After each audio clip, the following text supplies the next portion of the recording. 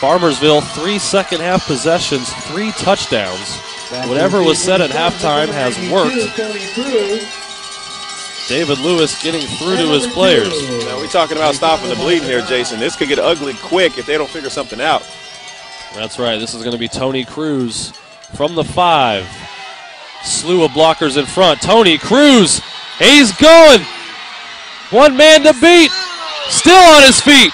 Cruz down inside the 30, the 20. He's going to go to the distance. 95 yards. And the answer from Tony Cruz. We talk about all three phases of the game, folks offense, defense, and now special teams making the much needed play. Awesome. You, you, you got to love it. The young man breaking a tackle, the last tackle into the end zone, touchdown Strathmore, a much needed touchdown, Jason. Absolutely. The wedge was set up in front of him. He took it, found the hole, and it was a race after that.